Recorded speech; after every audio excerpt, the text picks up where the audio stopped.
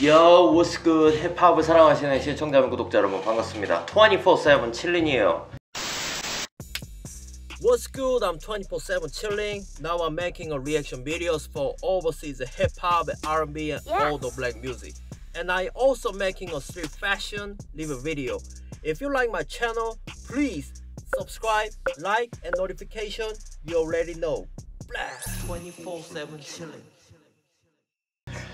어 오늘도 좀 새로운 나라 힙합 리액션 비디오 한번 만들어 보려고 이렇게 시작을 합니다.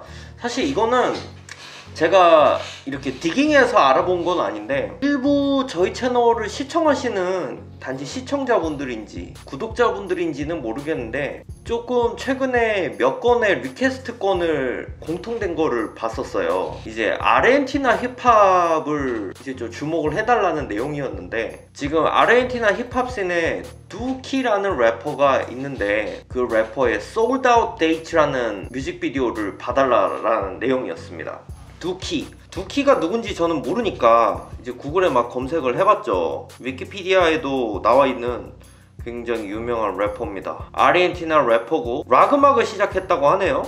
어렸을 때는. 아르헨티나 프리스타일 랩 competition에 참가해서 우승도 하기도 했다고 합니다. 그리고 지금은 굉장히 좀 아르헨티나에서 영향력 있는 래퍼가 된 것 같아요. 그렇습니다. 지금 이 Sold Out Date라는 곡은 조회수가 560만이 넘어가는 어마어마한 조회수를 기록을 하고 있는데 제가 이 아티스트에 대해서 많이 모르니까 어떻게 좀 알아가는 차원에서 비디오를 보려고 합니다 어 근데 저는 전 놀란 게 이분의 가사를 해석해보고 너무 감명이 깊었어요. 약간 그런 거 같았어요. 사실 뭐 동양권의 나라에서는 이런 일들이 서양권에 있는 것보다는 많이 없지만 서양 나라에서 어떤 빈민가의 삶을 얘기를 들어보면 미국과 비슷한 삶을 사는 것 같아요. 다 길거리의 삶이죠 길거리에서 뭐 마약을 팔고 이런 것들 자기는 정당하게 음악을 해서 벌어서 이제 가족들을 기쁘게 하고 있다는 내용이 있고 그의 야망이 좀 느껴지는 가사였다고 생각을 해요. 그리고 성공한 이후의 삶을 얘기를 하고 있습니다. 재밌는 곡일 것 같아요. 어떻게 보면은 제가 가장 좋아하는 힙합의 그 가장 큰 정신 self-made 또 여기서 나오는 거 아니겠습니까? 두키의 Sold Out Dates 비디오를 보면서 제 생각을 좀 더 얘기를 해보도록 할게요. Yeah, okay, let's get into it. Yup, are you enjoying watching my video? Have you still not subscribed to my channel? 음.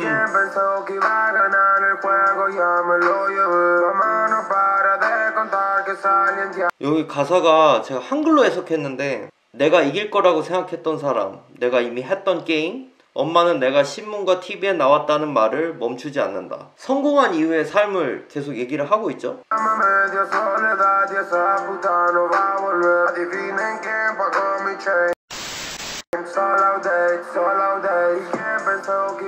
오. 명성은 나에게 외로움을 주었고 여자애는 돌아오지 않아. 누가 내 체인에 돈을 냈는지 말해봐. 진짜 자기가 성공했다는 걸 얘기를 하고 있어요. 성공의 어떤 부작용조차도, 성공의 어떤 단점조차도 자신한테는 그냥 자연스럽게 받아들이는 일 정도로 생각하는 것 같아요.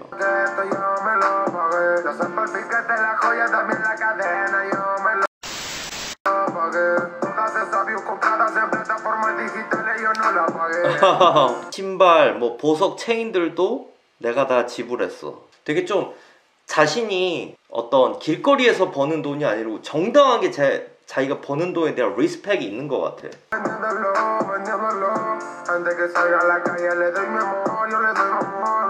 이것도 저는 되게 멋있는 것 같아. 후드들이 마약을 파는 것보다 콘서트 티켓을 더 많이 판다고 표현이 되어 있어요. 어, 이런 펀치라인 되게 멋있지. 그가 거리에 나가기 전에 나는 그에게 내 사랑을 주고 거리는 위험해. 축복을 받아야 돼. 내 형제들이 훔쳐 팔고 있는 동안 나는 쇼를 깨고 있어. 자기 자신의 직업에 대한 강력한 리스펙이 있어. 어, 굉장히 멋있어요.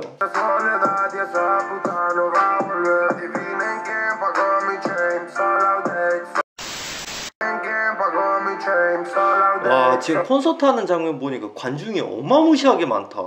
진짜 인기가 많은가 봐요. 사실 저는 가사가 너무 눈에 잘 들어오는 것 같아.